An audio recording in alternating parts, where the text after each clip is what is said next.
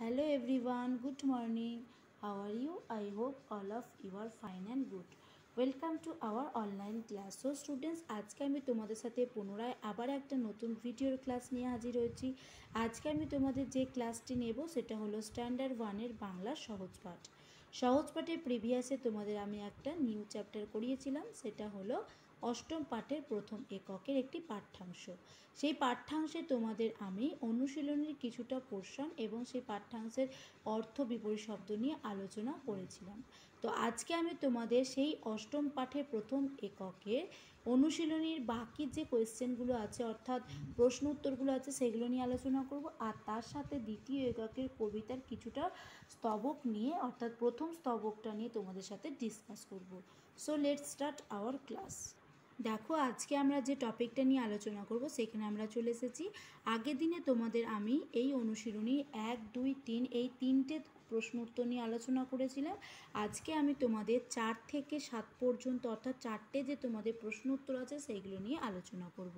তো দেখো, চারের দাগে তোমাদের প্রথম যে কোয়েশ্চেনটা সেটা কি বলেছে? নিচের এক একটি কথা দিয়ে কিছু লেখো। অর্থাৎ তোমাদের এখানে কিছু শব্দ দেওয়া আছে, সেই শব্দ দিয়ে বাক্য রচনা করতে হবে।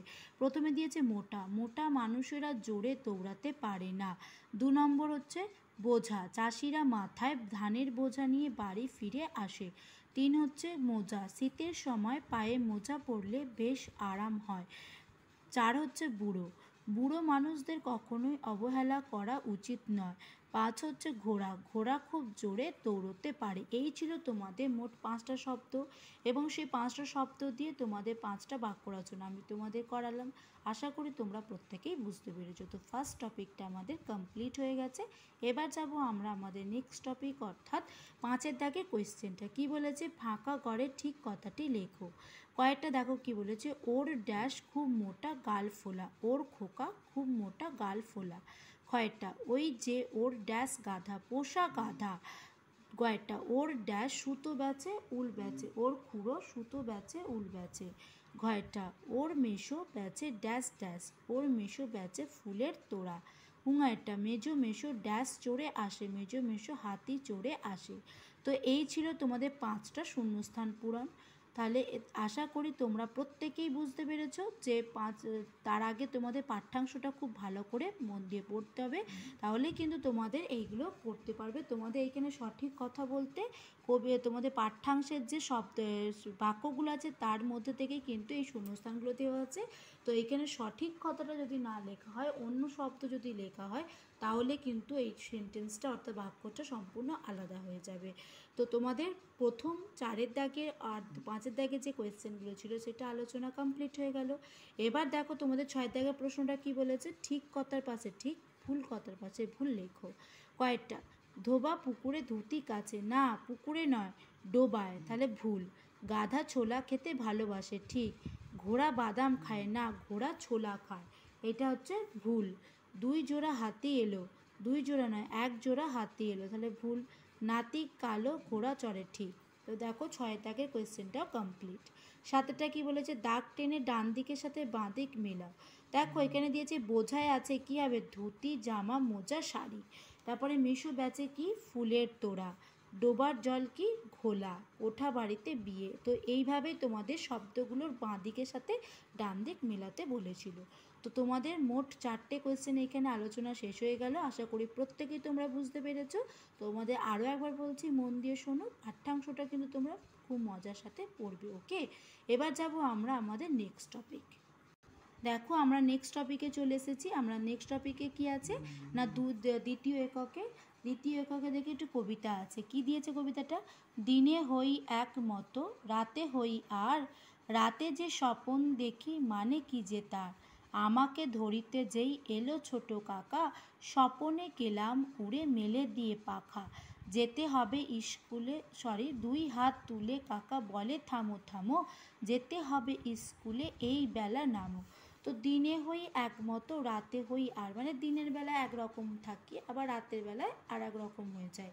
কারণ রাত্রিবেলায় আমাদের ঘুম পায়, ঘুমের মধ্যে আমরা প্রচুর স্বপ্ন দেখি।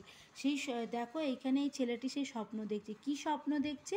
যে তার যেন পিঠে একটা পাখনা হয়ে গেছে সে যেন পাখনা মেলে দিয়ে অর্থাৎ ডানা মেলে দিয়ে যেন আকাশে উড়ে যাচ্ছে। আর তার ছোটো কাকা তাকে কী করছে?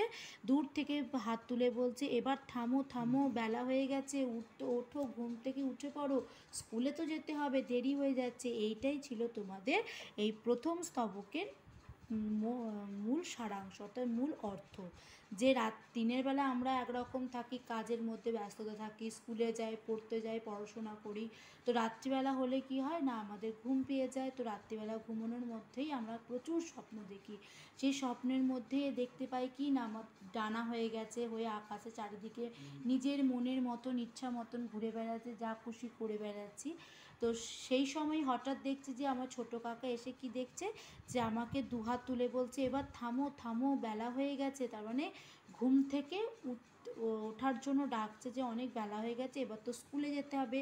স্কুলে গিয়ে নাহলে দেরি হয়ে যাবে। তো এইটাই এইখানে মূল অর্থ দিয়েছে। এইখানে দেখো কতগুলোর শব্দ আমি এখানে সার্কেল করেছি। দিনে, তারপরে দেখো, ধরিতে, ছোট, কাকা যেতে, স্কুলে, নামো, পাখা, এইগুলো ছিল তোমাদের শব্দ। তো এই শব্দগুলোর কিছু অর্থ আর বিপরীত শব্দ নিয়ে ডিসকাস করব। তো দেখো তোমাদের কি কি শব্দের অর্থ আছে? ধরিতে মানে ধরা বা ধরতে তারপরে হচ্ছে কাকা মানে হচ্ছে বাবার ছোট ভাই, পাখা মানে ডানা, স্কুলে মানে বিদ্যালয়। এবার দেখো এই ছিল তোমাদের মোট চারটে অর্থ শব্দে।